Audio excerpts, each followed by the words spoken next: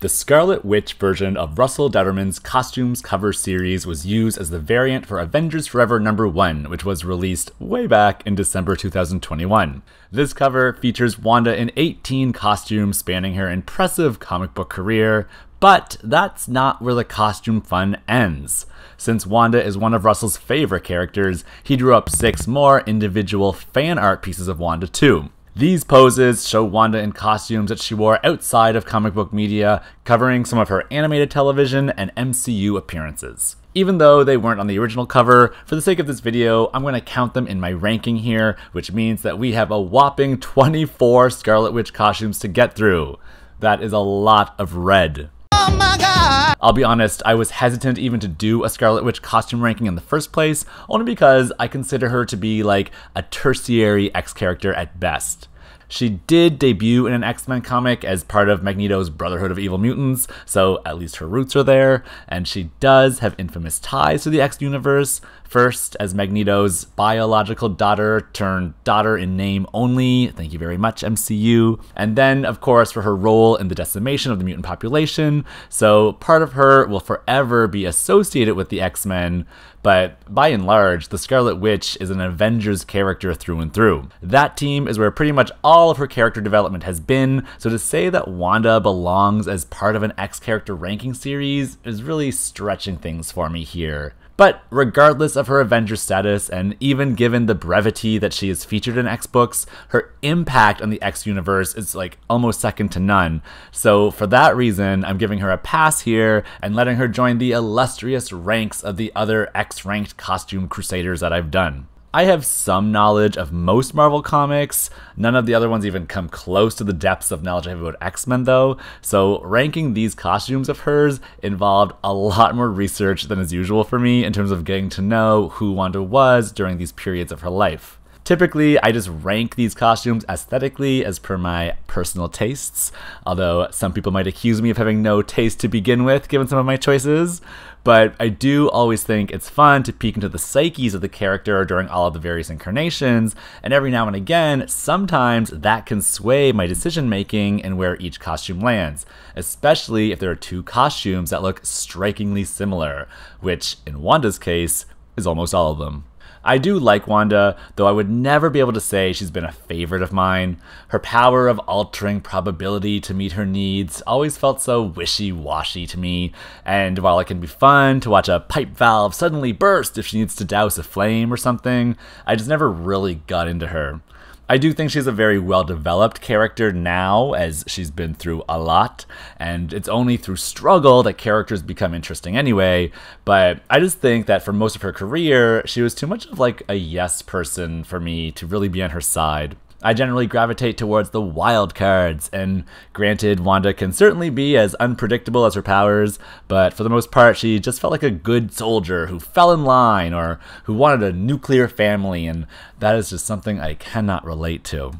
I think some of her strongest periods were during her quote unquote unhinged times, which I hate to put it all on the crazy as being her most captivating story points, but just like her sis Lorna Dane, what else have they got? I think the comics have done a great job of rebuilding her image, though, and washing all of the bad memories of her past away. And truly, these days, she does feel a lot more capable and confident, and is finally done being apologetic to the mutants. Her penance was one that was well served, but I'm happy to see everyone move on past M Day now as well. In any case, she's been in the comics a long, long time, so there's lots to discuss as we dig into ranking 24 costumes worn by the Scarlet Witch. Number 24, the Brotherhood of Evil Mutants. Blech, the Brotherhood costume. This one is just the worst. This is what Wanda wore during her debut in X Men number 4. She and her brother Quicksilver were members of Magneto's Brotherhood of Evil Mutants, along with Mastermind and Toad. Astra was kind of part of it too, but that's a retcon for another time. In her early days, Wanda was a total accessory to Magneto's evil agenda of mutant superiority, and the Brotherhood would commit crimes of terrorism, like overthrowing human governments in order to achieve his goal. Wanda's heart was never really in this, though, and she only went along with Magneto's plots because she owed him a debt for having saved her life from an angry mob of villagers whose houses she accidentally set on fire one time. Wanda openly argued with Mags during her tenure with the Brotherhood, and sometimes she would actively work against him and thwart him so that his scheme would fail from the inside.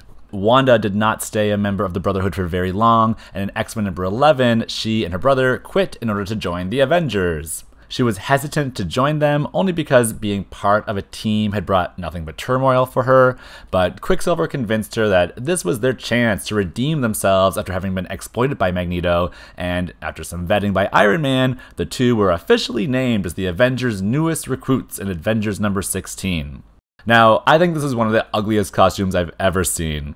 I've never liked it, not even from when I was a kid, and honestly, it has never grown on me. At the end of the day, it all comes down to that headpiece she's wearing. It's probably one of the most tragic things to ever disgrace a superhero's closet. It's bulky, it's awkward, and something about its construction just reminds me of Tri-Face from the Neverending Story 2. Like, I'm waiting for her head to spin around inside of it and reveal a new face. I liked how take charge Wanda was during her anti Brotherhood crusades, even while she was part of said Brotherhood, but even that level of gumption can't save her from how attacked I feel by having to look at that headpiece. Number 23, House of M. This was the costume that Wanda wore during the time she reshaped reality into the House of M, which was a reality where mutants were the majority population and humans were the minority. Basically, everything her father Magneto could have ever hoped for. In the House of M, everyone forgot who they really were, and Wanda was able to live with her family and her two kids in the peace that she had been searching for. Of course, not everyone forgot their identities though, and as all the heroes started to remember the world as they actually came from, they attacked Magneto Citadel thinking it was he who was behind everything, but they were shocked to discover the plan to reshape reality actually came from their friend Quicksilver. Even Magneto was shocked, and just like the patient father he is well known to be, he angrily lashed out and killed him, which was basically the tipping point for Wanda. She and Quicksilver were always close, and especially in this reality, with her mental stability already on the fritz, seeing him die really sent her over the edge. Even though she created this reality for mutants to live in the utmost harmony with one another, she was rocked by the fact that everyone was still finding reasons to fight and wreak havoc, so she figured the problem must lie with the mutant population itself, so the only way to deal with it was to utter those three fateful words no more mutants. With that, the House of M came undone, and everyone returned to the Prime reality, which was now a world that had a few million less mutants in it than it began with. Afterwards, Wanda disappeared for a long, long while, and with good reason, because no one was all too happy with her. This saga of the Scarlet Witch lives in infamy as one of her biggest claims to shame in the X world, and she suffered being labeled a pariah in the mutant community for like a solid 15 years or so afterwards. Tensions between the X Men and the Avengers were high ever since, and though Wanda has since tried to make up for her lapse in judgment on numerous occasions, the grudge was never truly buried until now, during the Krakoan era, where Wanda has created a mystical realm called the Waiting Room, where spirits of deceased mutants who didn't get backups in Cerebro can still be reborn through the resurrection protocols. Even though the House of M is such a defining moment for Wanda's comic book career, the outfit she wore during it was horrible. She was just wearing an oversized nightgown, which I guess makes sense because she was basically bedridden the entire time, so there really was no reason for her to be decked out in her super heroics but still, the logic doesn't give this outfit a pass for me. I don't even think the nightgown is worthy of being featured on Russell Dauterman's variant cover, except it's what she was wearing at such an iconic comic book moment, so I guess, of course, he had to include it. The only part I like about this is that she's at least giving us a little slinky shoulder action, and the gold pattern detail helps break up the monotony of red, but I mean, overall, this garment is pretty hopeless. It's doing nothing for me, and so I'm doing nothing with it. Number 22 Heroes Return. This was the costume Wanda wore when the heroes returned after being sent to Franklin Richards' pocket universe during the Onslaught crisis. Upon returning to the 616 reality, Wanda joined back up with the Avengers, who suddenly had more members than ever. She got embroiled with a bunch of drama, including being kidnapped by Morgan Le Fay, who used Wanda's reality warping powers in order to reshape the world into something more medieval. She also ended up resurrecting Wonder Man, where things got real weird between her, him, and Vision. The Avengers also clashed with the Squadron Supreme, and Wanda pit her own magics against their team sorceress Arcana. Turns out the Squadron was under some brainwash, and Wanda used her powers to help snap them all out of it. But it wasn't all action with Wanda at this time. She also had some nice tender moments, like when she shared ice cream with Carol Danvers, who was under scrutiny by the team for being a potential imposter. Yet even though Wanda had some great moments of action and some TLC, I just can't get behind this costume she was wearing. It's a version of her Old Faithful, so the cape and the red bodice and the pink tights are all fine, but what I cannot get behind is those boots. They are the ugliest things I've seen, almost as ugly as that Brotherhood head habit. I think it's the design on like the shin area that I just can't stand. Perhaps they're an homage to her father Magneto because they kind of look like metal rings, but to me, they just stick out like a sore thumb on an otherwise okay costume. Even though I'm fine with most of the other elements, being nitpicky is what these rankings is all about, and something else I don't like about it is the cape being attached to the tip of her cleavage. It feels like a weird spot for the cape and not very stable at all, especially not if she ever, like, God forbid, bent over. She appeared a few times without the cape, which actually made the costume somehow look even worse with just her exposed shoulders, because my eyes go directly then to those boots. She didn't keep this version of the costume for very long, bless, and even though most of her classic costumes look a little something like this, I can honestly say I was not a fan of this particular version whatsoever, even if I did enjoy her character portrayal while she was wearing it. Number 21, Avengers United They Stand. This outfit is what Wanda wore during the Avengers United They Stand animated series. In that series, Wanda was teamed up with Ant-Man, the Wasp, Wonder Man, Tigra, Hawkeye, the Falcon, and Vision to fight off evil threats and save the world as Avengers are known to do. It ran for one season from 1999 to 2000, and in it, the team fought off all of the usual suspects like Ultron, Kang, and the Masters of Evil. I was on the cusp between elementary school and junior high when the show came out, so part of me was excited for it, but another part of me was ready to move out of the world of cartoons and onto bolder things like Freaks and Geeks. So I admit I didn't watch much of it. I think I watched an episode or two on Teletoon and thought, eh, it's not for me, and didn't tune in for the rest. It is on Disney Plus though, if I or anyone else out there ever gets the urge. I can't precisely say why I didn't like the series, but I think a part of it might have been because of the drastic redesign of the characters. A lot of them looked way off model to me, including Wanda, whose red and purple color scheme I really didn't understand. I can't be alone in thinking that this hardcore clashes. To me, the purple feels like it was added in to appease a producer who knows nothing about designs note or something. Like someone who felt that her actual comic book costume had too much red and it would be a turnoff to viewers of television. As far as I can tell, Wanda wasn't really a focal point of the series, at least not in the kind of way that Jean Grey eventually became for the X Men cartoons. She does have an adventure of her own in one of the episodes where she tries to find Agatha Harkness, but other than that, I think Wanda was mostly a secondary character in the series. And I mean, who can blame them given what she was wearing? Number 20, Age of Apocalypse.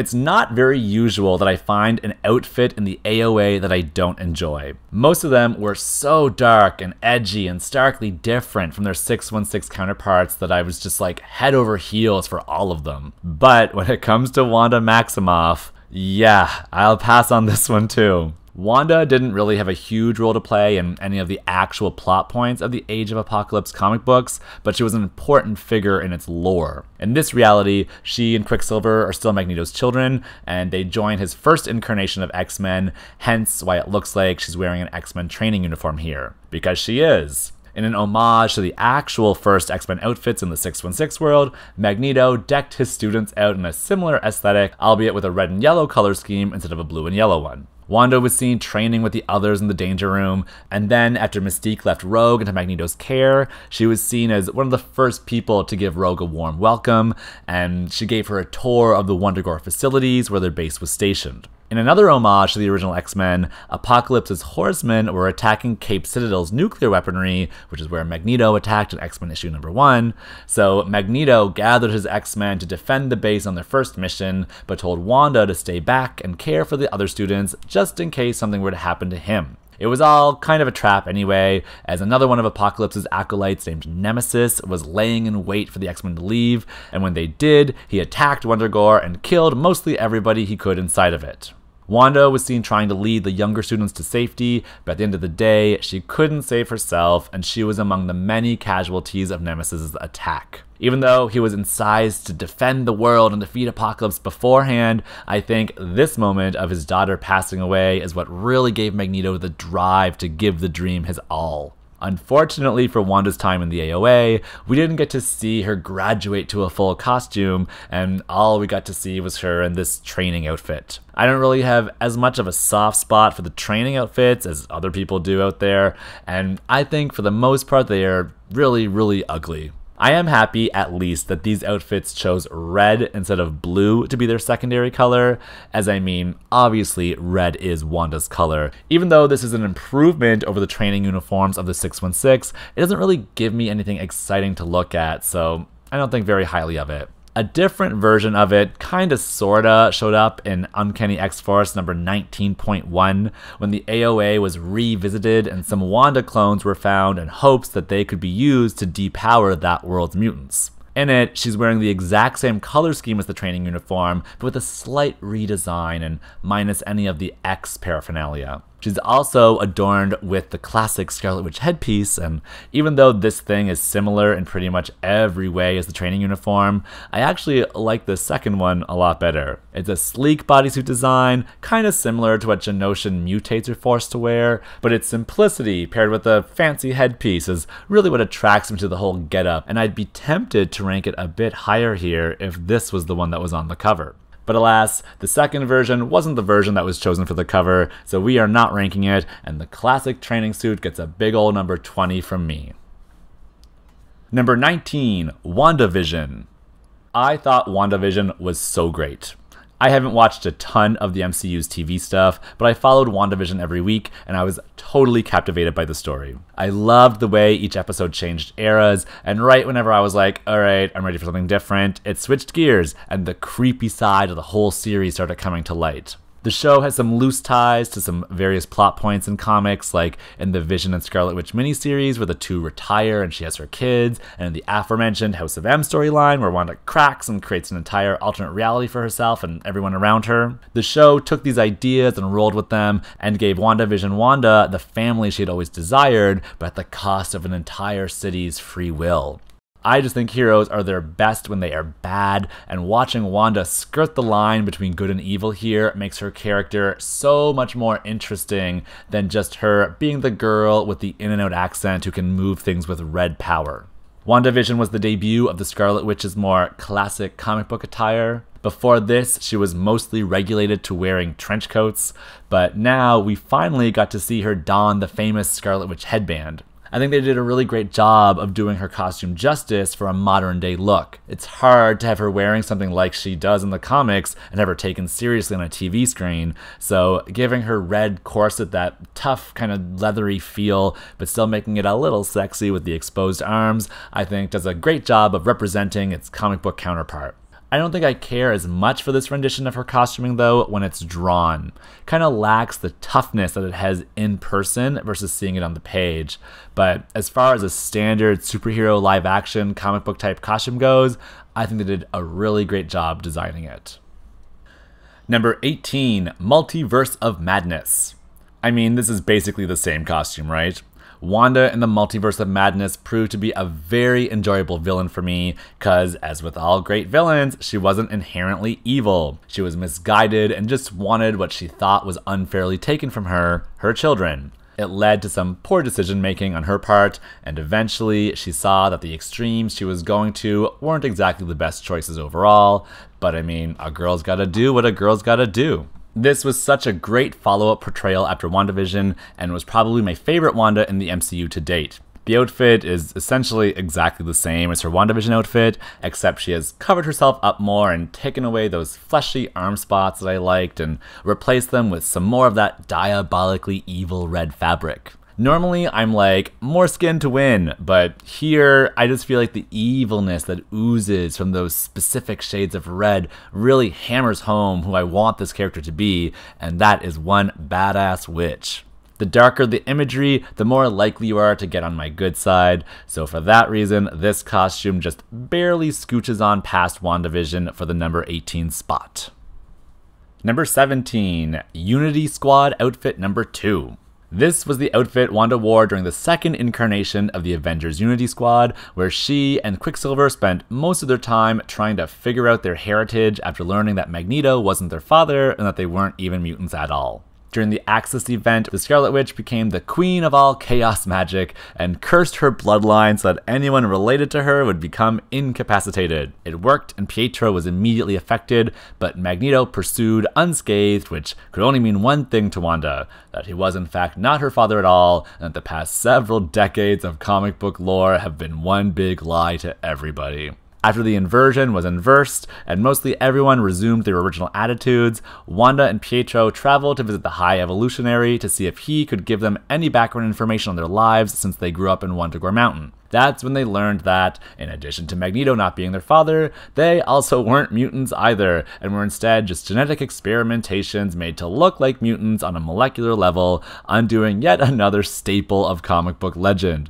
I mean, the Magneto retcon was enough, but to demutant them too, Marvel has gone too far. All these changes were, of course, to satisfy legal requirements for the MCU, which prohibited the use of mutants in the main Avengers franchise due to Fox's claim over any and all X Men isms, including mutants. I'm not sure if I read that somewhere or if it's just such an obvious case that it has to be the case, but basically, by demutanting Wanda and Pietro in the comics, it created a legal loophole for Marvel to use them as characters in the movies, since if they are not mutants, then they thus do not fall within the realm of X Men anymore. I think most X fans revile this retcon and would welcome a retcon of the retcon. And to be honest, I thought we were going to get something like that during the trial of the Scarlet Witch miniseries. Oh, sorry, the trial of Magneto miniseries. I thought for sure Wanda had struck a deal to be resurrected as a mutant, which would basically just render all the previous retcons null. But alas, it wasn't to be the case, and now she is just a mutant ally as opposed to being a part of the big extended mutant family herself. Anyway, after confronting the High Evolutionary, she and Pietro also learned that they had a sister named Luminous. Luminous was created by the big HE himself, who used the genetic templates of the twins to do so, meaning that she had not only her own powers, but also the powers of both Quicksilver and the Scarlet Witch combined. Luminous was pretty powerful, and neither Quickie nor Scarlet could take her down by themselves, but after reuniting with the rest of the Avengers and taking on all of the High Evolutionary's forces together, they managed to subdue not only Luminous, but also High Evolutionary too. So I'm not a huge fan of these storylines for Wanda, only because to me they seem to undo more character enrichment than they create. But it's suitable that she's wearing this outfit for them because I don't really like this outfit that much either. There's nothing outright ghastly about it, but I just find it to be too restrictive for her. And specifically, I'm referencing that mini capelet that just drapes across her chest and shoulders. It looks tight and restrictive of her movements and like it would just get in the way. I also don't really think that her top and her pants match that well either. The corset looks like it's got a very firm structure, while the pants remind me of like Lululemon form-fitting jeggings. So the silhouette is creating like a, a contrast of angular comfort that's a bit off-putting for me. It's not unusual to see Wanda in this kind of top, as most of her other outfits have a very similar version of this, but I think the color here and the costume, but make it casual nature of the parts together don't really give her the strike fear into my enemies vibe that it should be going for. Number 16, X-Men Evolution.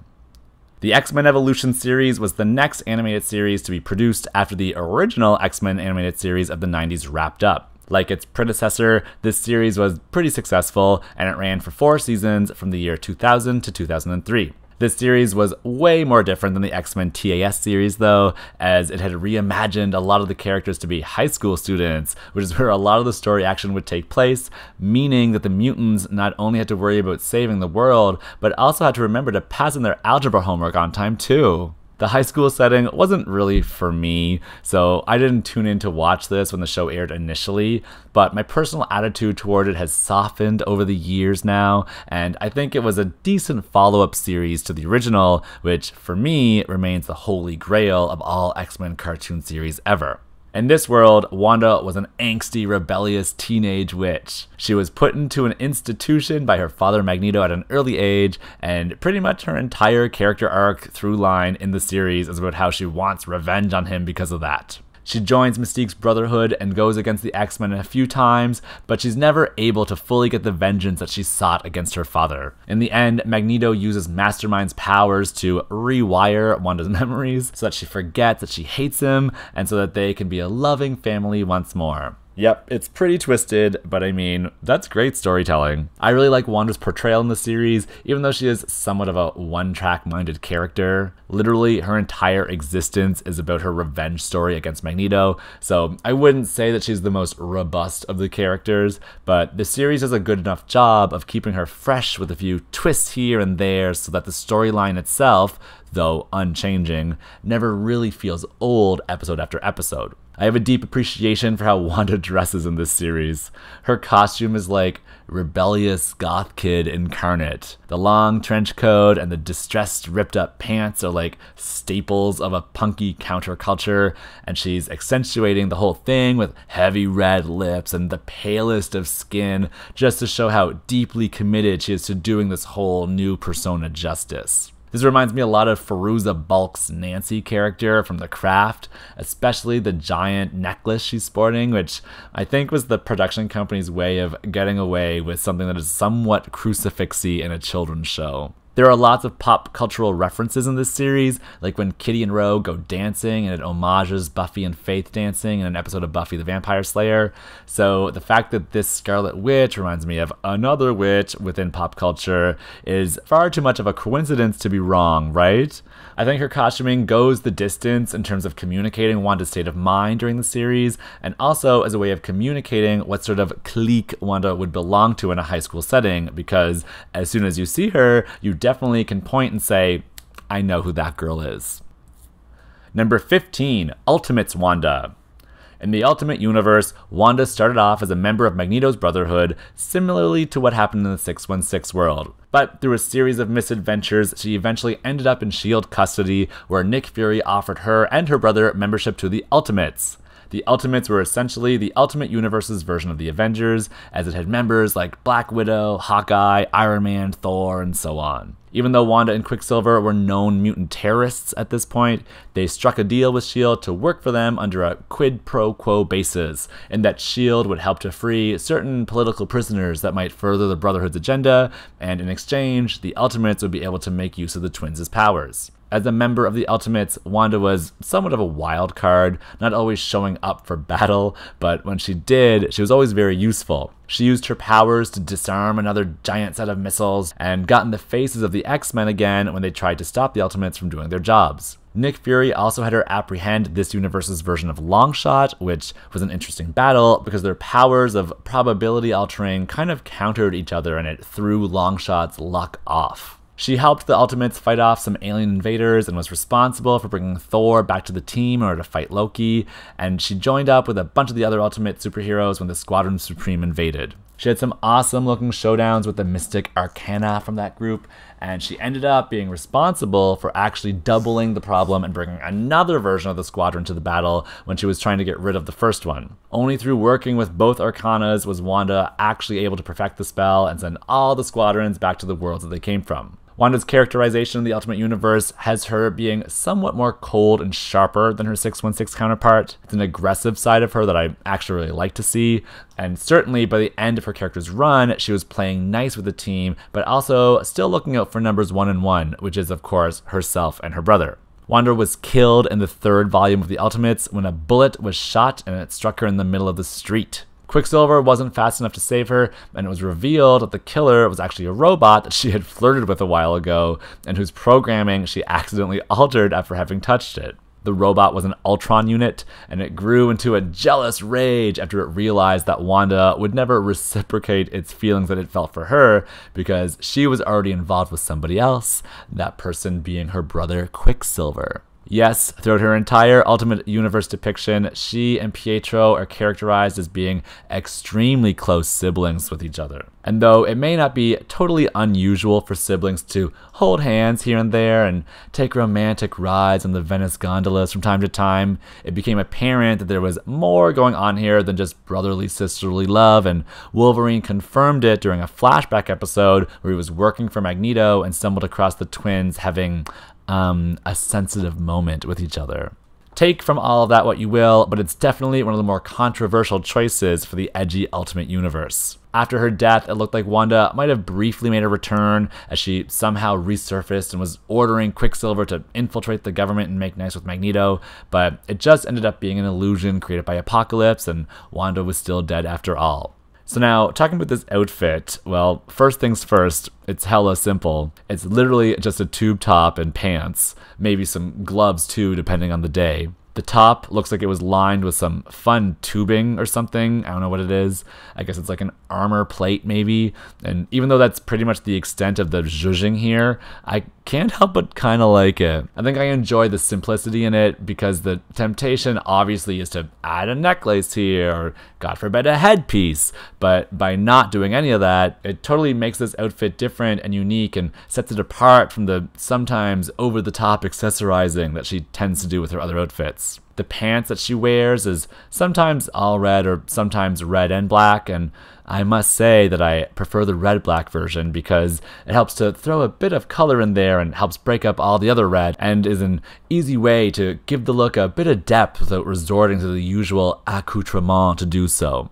Part of me wants to call this design lazy and sexist and just totally not practical for a superhero to wear, but I think it really falls in line with Wanda's personality from the Ultimate Universe. She didn't really give a ton of shits about anything. She just wanted to get what she wanted, and this is definitely the outfit to wear for someone who doesn't give a damn about what anybody else thinks of them, especially not some guy ranking her outfits. Number 14, Romani Wanda. This outfit was the second one that Wanda wore during the Avengers Volume 3 series.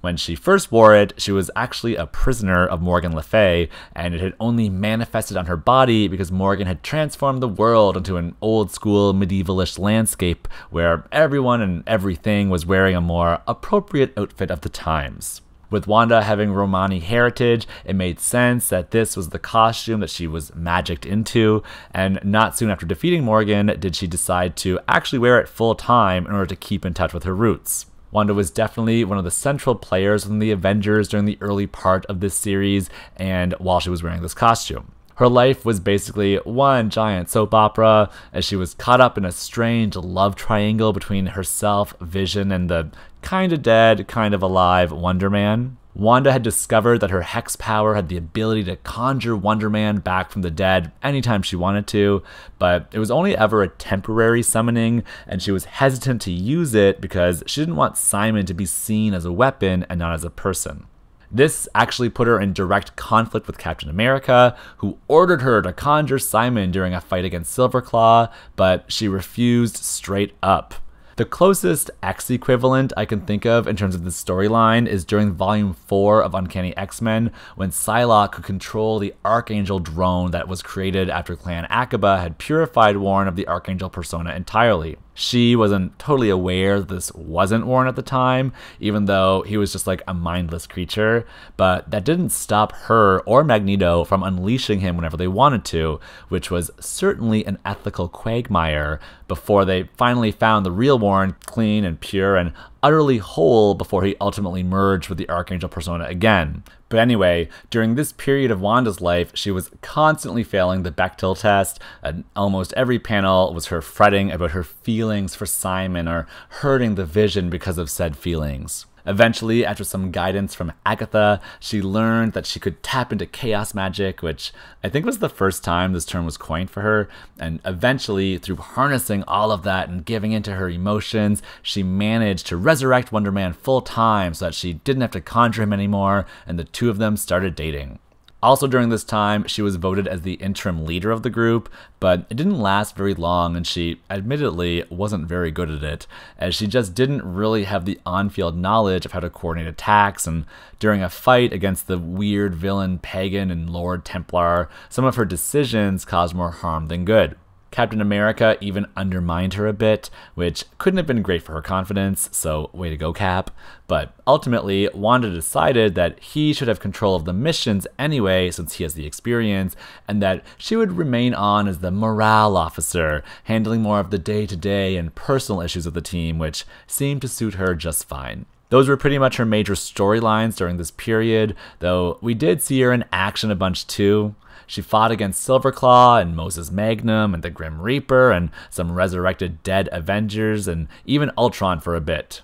Wanda was a very strong, self assured character at this point, even if her portrayal kind of did her a bit of an injustice. She talked a lot about men and had shaky belief in her leadership abilities, but other than that, she really had it together and it was a nice, stable breath of fresh air for her. In terms of the outfit, it's definitely another one of her more revealing ones. It's like her Ultimate Universe costume, but remixed a bit with a cape, a long skirt, and all the accessories you can imagine. Where the Ultimate Universe costume had none, this one really piled them on. I know it's a nod to her heritage, so I can't fault it for that, but in my opinion, it definitely fails the Coco Chanel test of forgetting to take off one thing before leaving the house. I love a perm and a curly hairdo, but this hair was really giving me Felicity realness to the point where I thought it was just a bit too frizzy to even look good.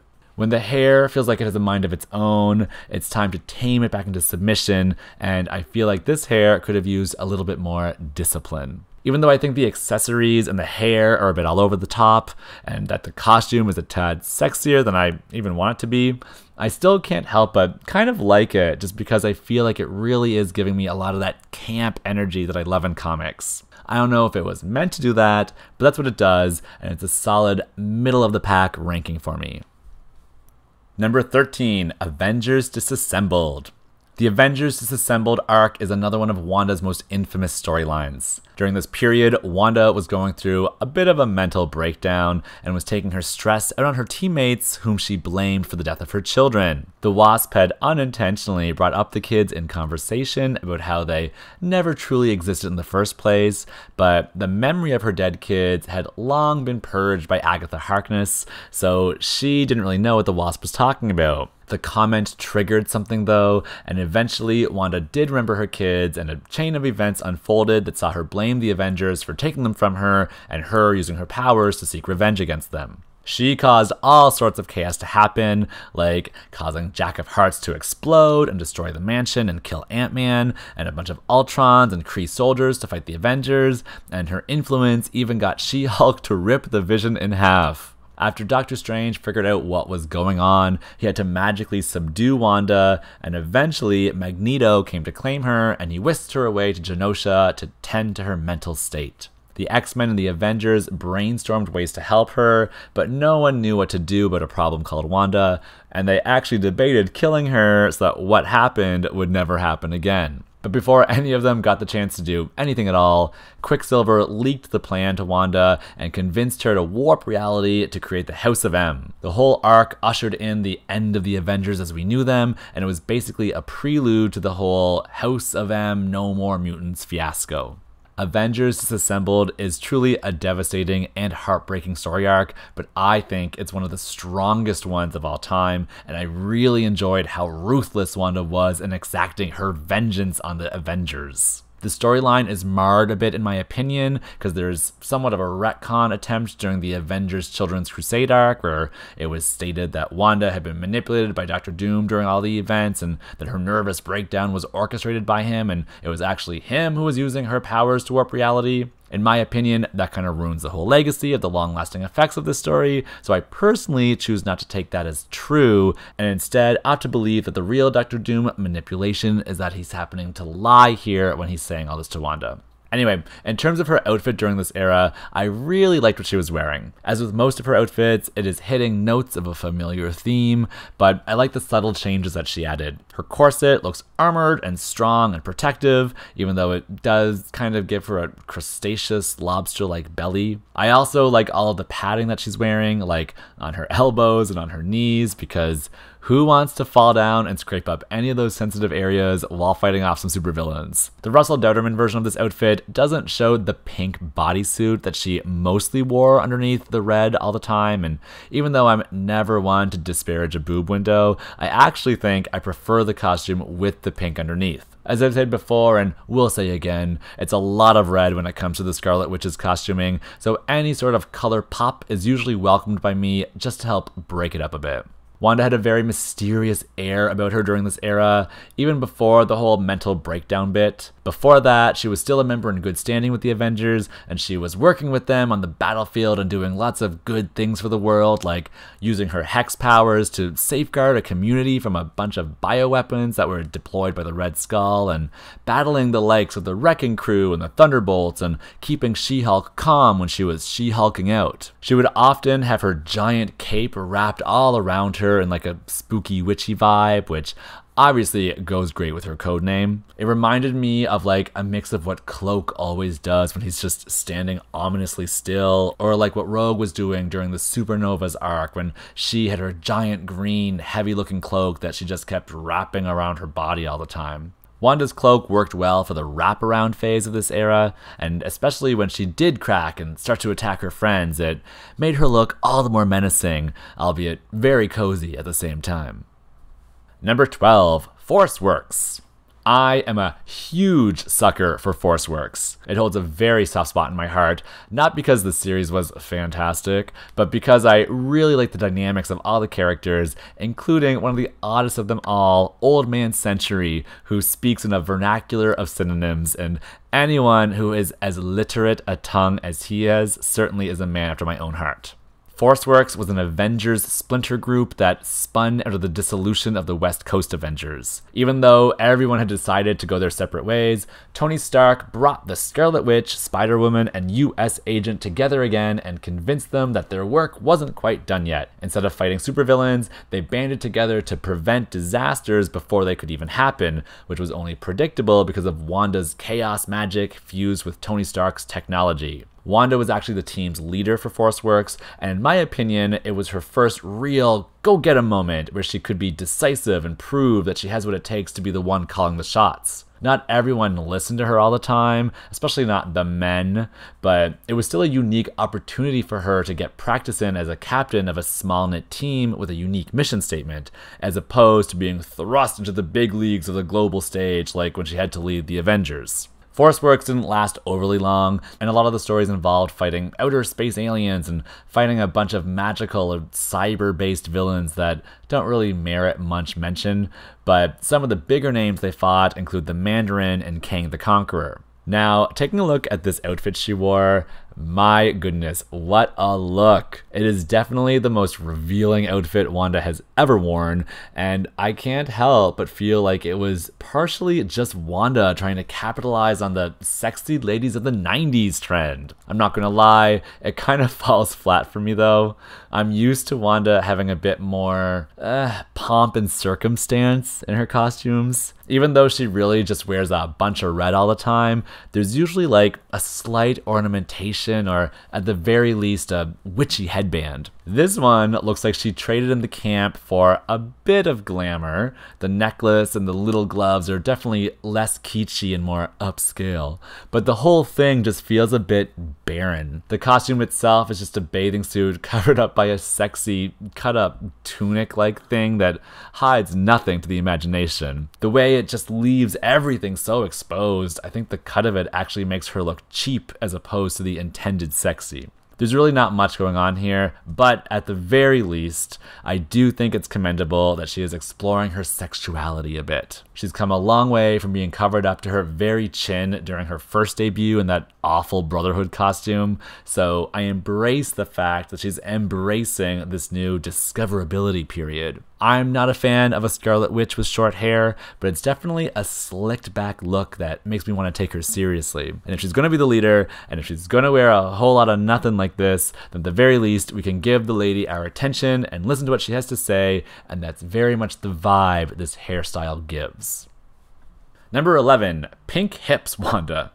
After the Avengers were reformed post Heroes Reborn, Wanda went through a bunch of costumes with her brand new super curly hair. This was one of the last ones, and it combined aspects of both of the ones that came before it. Of course, it had all the classic Scarlet Witch silhouettes like the red bodice and the cape and the headpiece, but it also kept the jewelry from her Romani inspired outfit. This one gets bonus points for having a fun, hip hugging pink design, which at first I wondered if it was clashy or too aerobics instructory, but then I banged my head on the table and realized, of course it wasn't. The pink is beautiful. During this era, pretty much everyone was an Avenger, from Firestar to Jack of Hearts to Stingray, so it was a lot of page time to fill with characters, and I don't feel like Wanda got a ton of it. During this costume period, she and the team fought a whole bunch of Hulks, and she broke off her romantic relationship with Wonder Man and helped in the fight against Kang's forces as he sought to take over the world.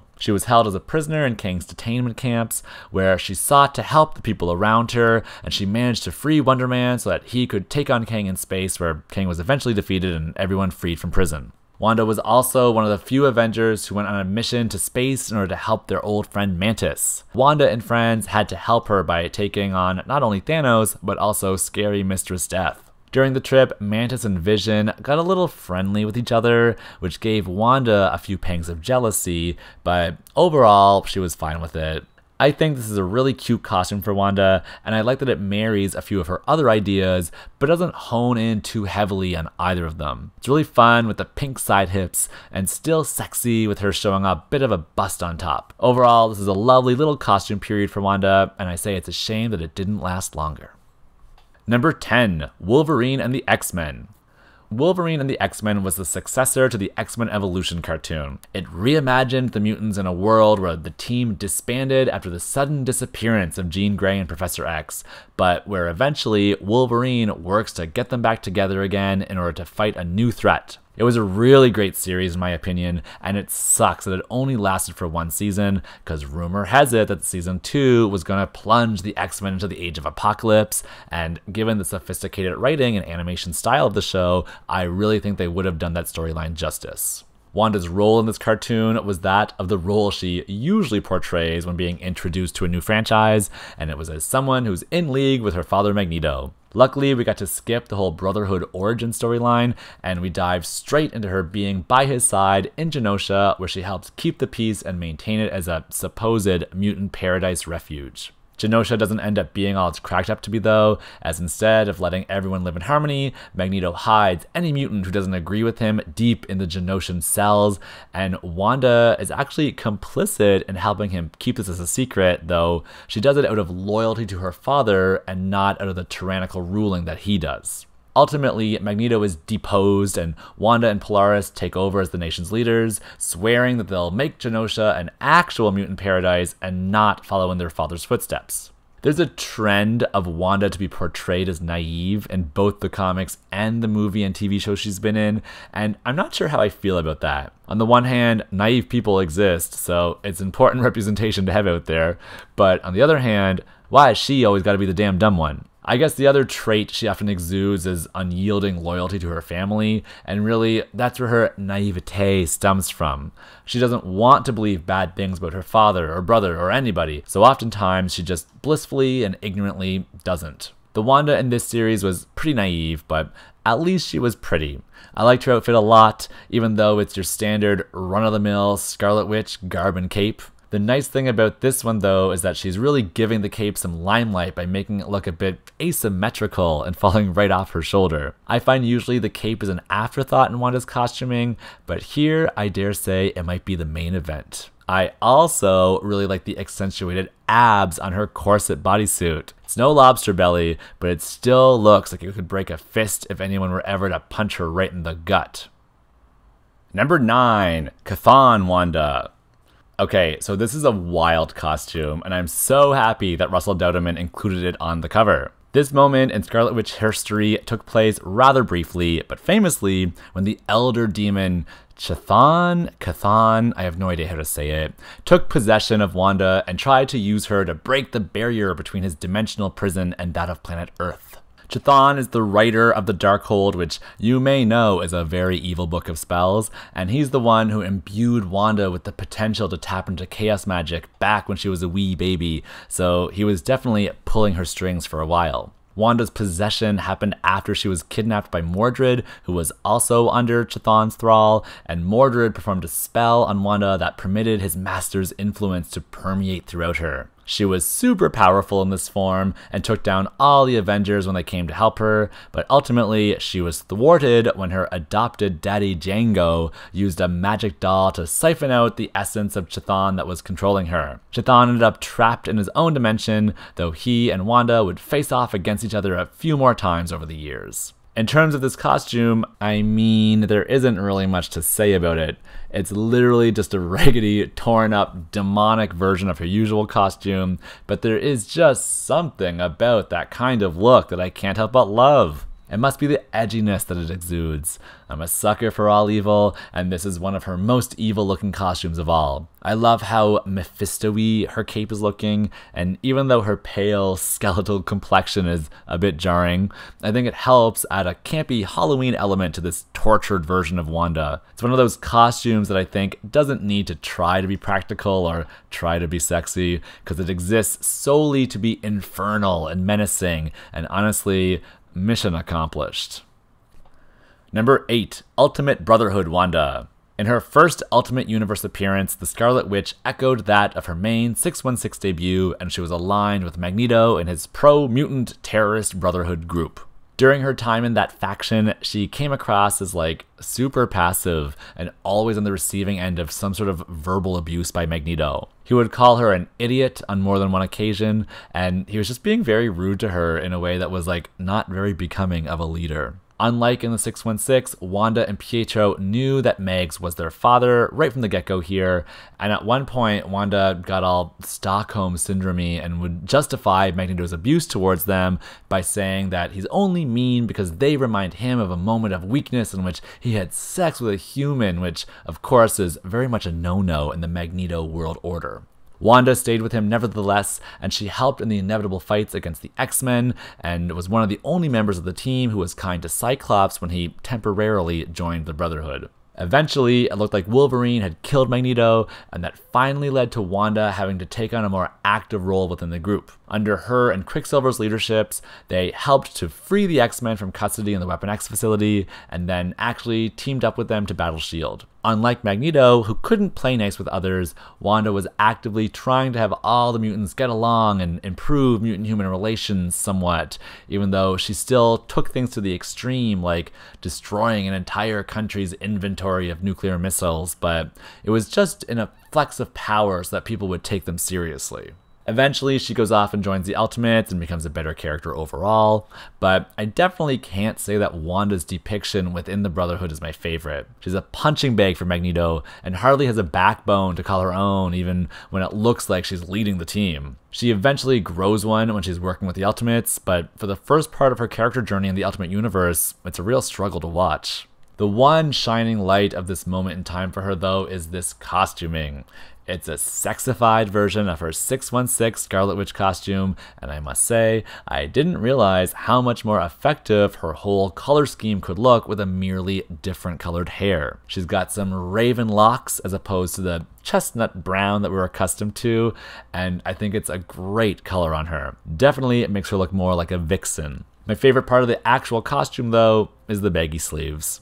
They're a bit reminiscent of the ladies' costuming from the AOA timeline, where such styled sleeves were all the rage, and even though these big cutouts right below her armpits don't serve any real function except for maybe ventilation, I appreciate that she's bringing us some drama here, and if we aren't looking for drama, then why would we bother looking at all? Number 7, All New, All Different Wanda. This is the costume that Wanda wore during her first real ongoing solo series. In this solo series, Wanda was predominantly motivated to discover her family tree. After years of falsely believing herself to be Magneto's daughter, she went on a quest to track down her real roots, and she did so by connecting with her dead mother and also by fighting magical beings and doing magical things. There were some strange things going on with witchcraft around this time, and every time she used her powers, her lifespan was getting shorter and shorter. But with the help of her mom and her good friend Agatha Harkness, Wanda put a stop to the war on magic and saved it for all magic wielders everywhere. During this period, she was also a reserve Avengers Unity Squad member, but she wasn't welcomed back to the main roster with open arms because she was deemed as being too unreliable. That was okay with her because it gave her time to explore a budding romance with Dr. Voodoo, and for a while they were the hot new item. Wanda was particularly into that relationship because she felt like Jericho could respect her both as a woman and as a sorceress, which is something her past non magical flames like Vision and Wonder Man couldn't really do. Eventually, Wanda rejoined the main Avengers squad, and when the secret Empire event happened and the big bad alt timeline Steve Rogers took things over, Wanda became possessed by Chthon again and was forced to do some dirty deeds as a member of the evil Steve's evil Avengers. Doctor Strange eventually freed her, but it wouldn't be the last time she came across Chthon again. She led a team of all star defenders against his supreme rise, but ultimately it was up to Wanda alone to take him down, and she did the unthinkable of absorbing both the Darkhold and Chthon into herself. This effectively flipped the script of what is usually a possession of her by him, because now she was the one in control. Thanks to her strength of will, she was the one acting as his cage instead of her acting as his puppet. This costume actually lasted for quite a while, right up until the Empyre event of not so long ago, when she had to fight a bunch of plant monsters and save the Savage Land from infestation by the Cotati. It's actually a really nice costume and certainly one of her most practical looking ones. I think it was a really solid modern take on what the Scarlet Witch might wear and that it was neither too ostentatious nor too bland. I don't care for the bejeweled headpiece. It's a bit too fairy princess for my liking, but I do like that black seems to be the predominant color scheme in this outfit, and that it is accented with red, and not just any red, but a shade of red that I shockingly don't think we've ever seen her in before. The costume doesn't play a ton of homage to her most famous costume, which makes it a breath of fresh air, as since most of the other costumes on this list are just variations of a familiar theme. Wanda is a woman who is known for making bold choices now, and though not as bold as some of her other costumes or choices, I still think this outfit is a lovely addition to her wardrobe. Number 6, Unity Squad number 1. I always liked the idea of the Avengers Unity Squad. I thought it was a fun repercussion to come out of the fallout of Avengers vs. X Men. I wouldn't say I'm an Avengers mega fan the way I am an X Men mega fan, but there are enough characters in that franchise that I enjoy so that when a supergroup team up title was announced, I was all for it. Uncanny Avengers had a lot of highlights, but hands down the best part of it for me was the tension between Wanda and Rogue. Rogue was extremely defensive about having Wanda on the team after M Day, and she did not trust her in the slightest. It was especially painful for her as Professor X had just been murdered, so it felt disrespectful to his memory to have the one person who single handedly decimated the mutant race to fight on this Unity Squad in the name of both human and mutant relations. Wanda played her part of the apologist for the most of the series, which is a role she has had to do for years and years with the mutant community, but even she eventually had enough of Rogue and the two exchanged more than words. The climax of their little feud happened when Rogue supposedly killed Wanda out of fear that Wanda was casting a spell to rid all the remaining mutants. That wasn't Wanda's real intention, though, of course, but everyone was being manipulated by the Apocalypse twins, so it was hard to tell who was doing the right thing. Time eventually got reversed so that Wanda never died, and Rogue became super embarrassed after hearing about her now alternate timeline murder of Wanda.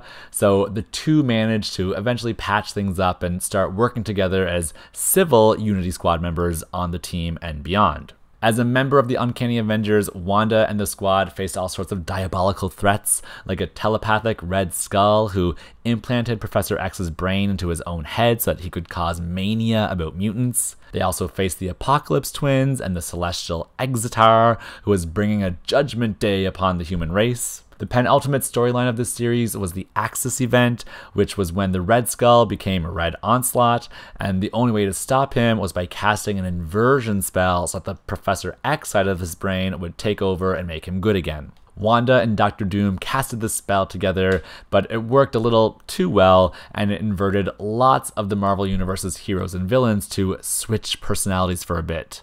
So evil people like Sabretooth lost their bloodlust and did things like join the X Men, while heroes like Wanda became hell bent on revenge. She saw to take it all out on Doctor Doom for his past misdeeds to her, and it was during this standoff that we learned she and Quicksilver were not Magneto's real children, and what is probably one of the most reviled retcons of all time, as I've already discussed. In any effect, everyone's personalities eventually got switched back, including Wanda's, but the bombshell of her true heritage would have a very lasting effect. The Uncanny Avengers was a great time for Wanda, and I think she looked great in it. This is an awesome costume, even if it is a little bit dowdy. It's not really very sexy, but since when does sex need to sell everything? I think the trench coaty dress really works for her. It's a bit of an awkward length, and it can't quite decide exactly where it wants its slit to be, but I think what draws me to it is that it's just, again, something totally different for her that we've never really seen her in. She's always wearing pants or leggings of some sort, never really a dress, so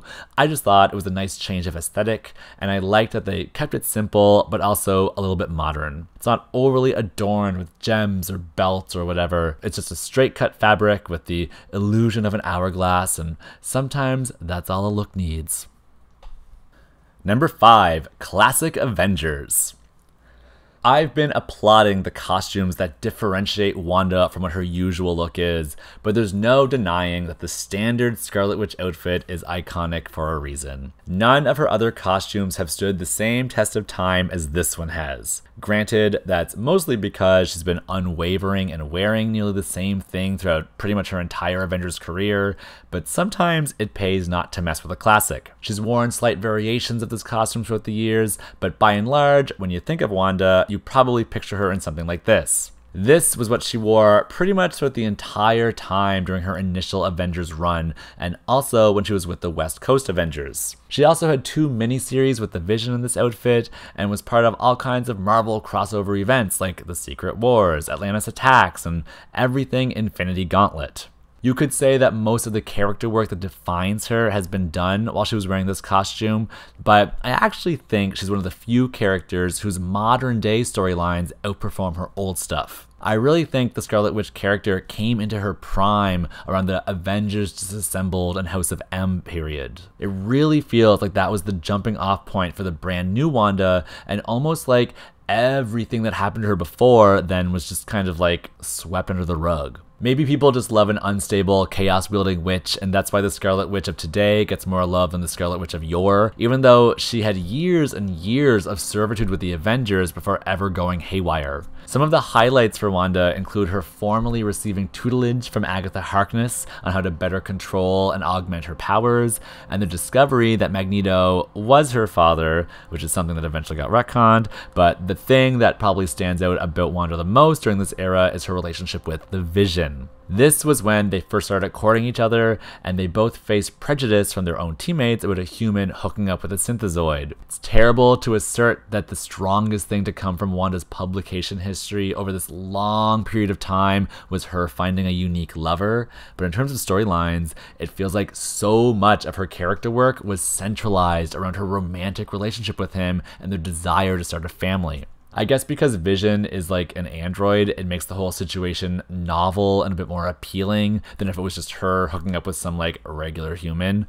But I do hate that love is the linchpin of what made Wanda's character dynamic in the 80s. Anyway, Wanda and the Vision's marriage has ups and downs, full of magical pregnancies and memory wiping and all the drama you could imagine that comes with that, but they break up in the end, and Wanda goes on to do bigger and better things without being attached to no mandroid. This costume of hers is a little stupid and corny, but it's quintessential Scarlet Witch. It's the debut of her famous M shaped headband, and it's the foundation of what pretty much all of her future costumes are based on. It's really a pretty simple costume, just a full body pink leotard with a red bathing suit over it, and a bunch of red accompaniments, but it's the simplicity that works for it, as I keep saying all the time. She's not overdoing it with bangles and baubles, and there's no one place trying to steal the attention from any other place. Everything works together in cohesive harmony so that you can respect and enjoy the costume in its full splendor without overlooking any one particular part.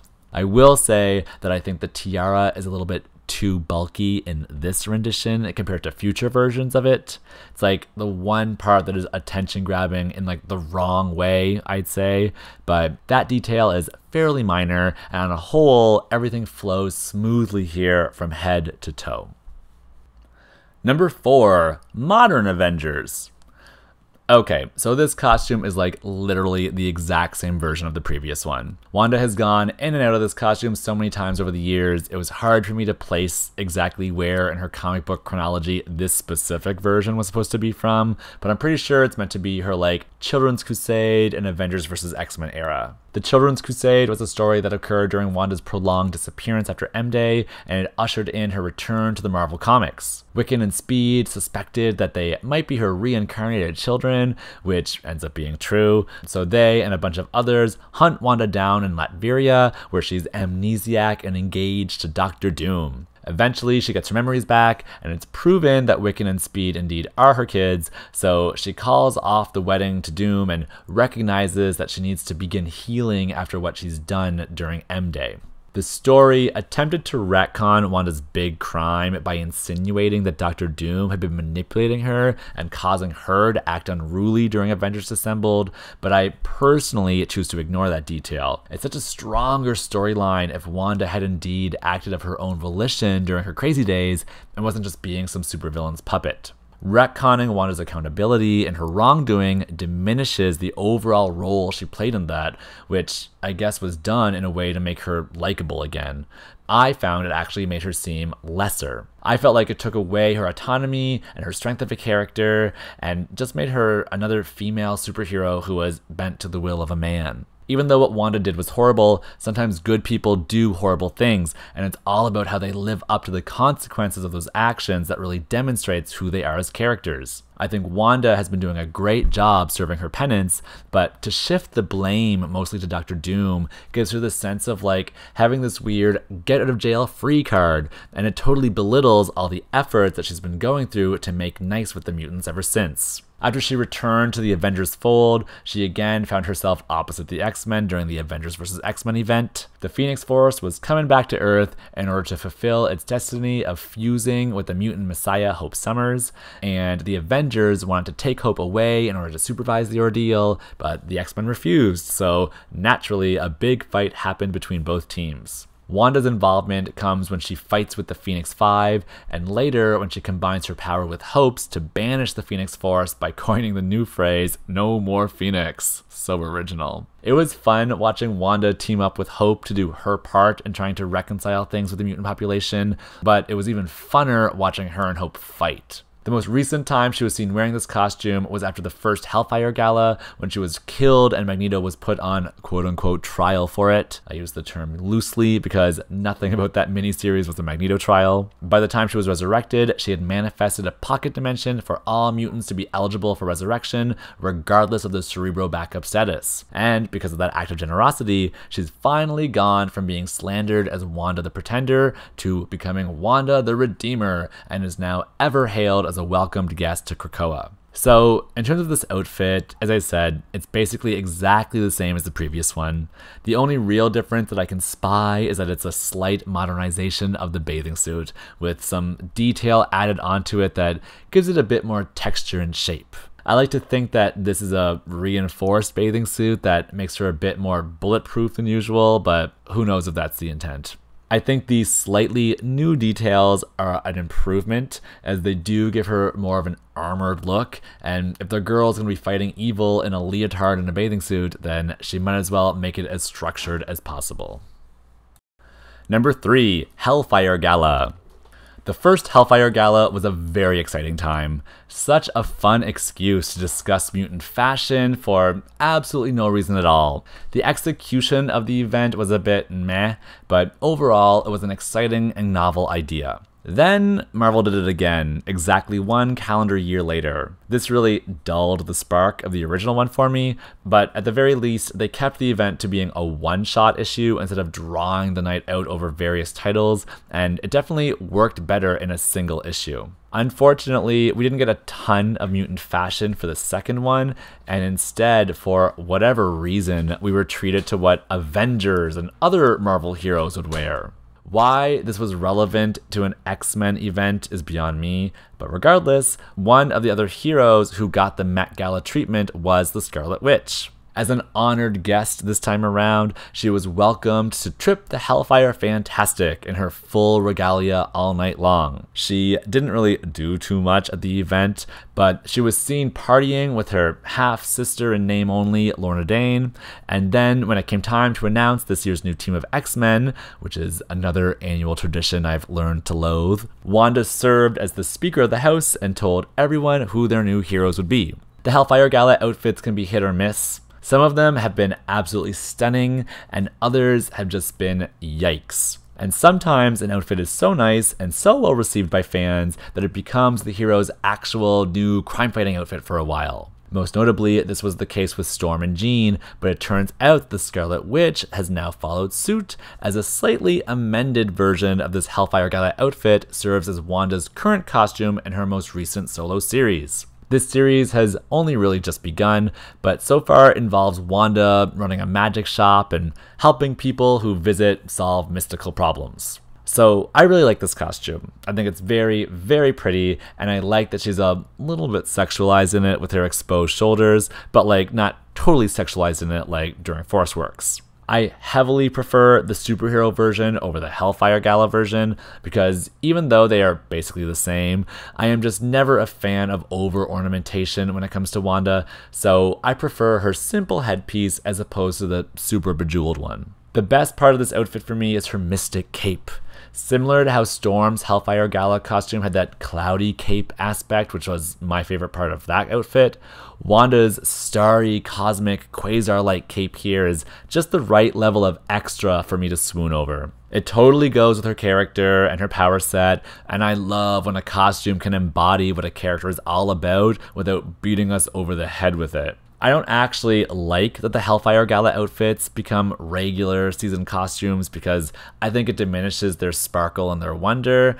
But if it was going to happen to anyone, then I'm happy it happened to Wanda because I actually really do think that this one works well for her as a main costume. It's practical without being too over the top fancy, but the design is still very specific and unique so that it stands out as a winner amongst a lot of the other fashion flops. Number two, Dark Scarlet Witch. Now, this is costuming, baby. The Dark Scarlet Witch was a byproduct of one of the many times Wanda snapped, and it happened during her tenure on the West Coast Avengers. She had become estranged from the vision and was still reeling from losing her children and having been brainwashed into being a bride of Set when Magneto came a knockin'. He was looking to reform the Brotherhood of Evil Mutants, and I guess the time was just right for Wanda, and she agreed to go with him, and she turned out this brand new evil witch personality. She totally turned on her fellow Avengers and formed this crazy new bloodlust for humanity, and her power increased like a thousandfold. Ultimately, the Avengers defeated Magneto and Wanda, and in the end, it turned out that her change in attitude and power was because she was being manipulated by Immortus for whatever reason. Everything about this costume just works for me, but it's the grandeur of the cape that I'm totally fangirling over. Like, man, I know it's an homage to Magneto, but what business does it have serving this level of high drama? Obviously, the best part is the collar area with those shoulders starched out to all heaven. And also the color. How often do we get to see someone decked out in this much magenta? It half hurts my eyes, but it's such a bold choice that I can't look away. This costume was such a departure from what Wanda had previously worn, and things only got wilder from here, but I think this one really nailed her evil persona, and I wonder if she shouldn't have been evil for just a bit longer based simply off how fabulous she looked. Number one, The Crossing. While it was certainly not the brightest point in Avengers lore, nor is it probably super fondly remembered by most, I was a huge fan of the Avengers redesigns in the late 90s. Thor wore a harness, the Wasp got supersized, Giant Man started sporting some Havoc X Factor hair, and Wanda, well, nothing too dramatic happened with her, but she certainly got modernized compared to what she had been wearing up until then. Her hair got relaxed, her sleeves got puffy, and her boots got long. This costume came about during the end of Force Works when it was revealed that Tony Stark was a traitor. Wanda rejoined the main Avengers team, where she reunited with the Vision, but the both of them decided that they weren't really interested in taking their relationship back up at this time. Wanda didn't get to spend a whole lot of time in this costume though, because soon after, Onslaught started decimating the Marvel Universe, and she was one of the heroes who banded together to end his threat by sacrificing herself. In the Heroes Reborn era, she had a totally wacky and different costume, and then when she was brought back to the regular universe, she was kicking it old school. So, in effect, this costume really didn't last that long at all. But what an impression it made on me. Maybe it's the Jean Grey of it all that attracted me to it, but I just thought it was the best and most cohesive she's ever looked. I love a campy costume, and Wanda has had more than her fair share of the same iteration of a campy costume over the years. But I think when I saw her in something as clean as this, it really left a mark because it's the first time she's ever looked um, nice. Not to mention that this costume was obviously one of the inspirations of her newest costume, which I also really like. I just think it's like Wanda decided for the first time to take superheroing seriously in her style and made a functional costume that was also fashion friendly and didn't make her stick out like a big pink and red sore thumb. Anybody who has watched my costume ranking videos before might know my favorite part of this costume, which is of course going to be the puffy sleeves. I'm a known sucker for those, but I don't dislike any specific part of it either. Usually, with a lot of her other costumes, I'm able to pinpoint something I don't really enjoy, but I honestly think that everything about this one hits the mark. It's not too much, it's also not too little, and evokes a different kind of attitude within Wanda that's not shy, but not overly aggressive either. I wish she had some better and more notable storylines in this costume because then maybe it would have a better station in her costuming Hall of Fame. But instead, it's just there as a weird blip in her career, and all I can say is that it's a blip that I wish had lasted longer. So there you have it 24 Scarlet Witch costumes ranked. I can't believe how long it took me to get this video out, so if I ever decide to do an adjacent X character costume ranking video again, somebody please talk me out of it. If you like this video and want to see more like it, you can head over to my YouTube channel where there are lots of other costume ranking videos, along with spotlights, reviews, and a bunch of other X-Men related content. You can also visit my website, greatxmentations.com, or follow me on Instagram where I am way more active. If you made it all the way to the end of this video, I want to thank you for sticking through it with me, and I implore you to come back again soon for more great X-Mentations.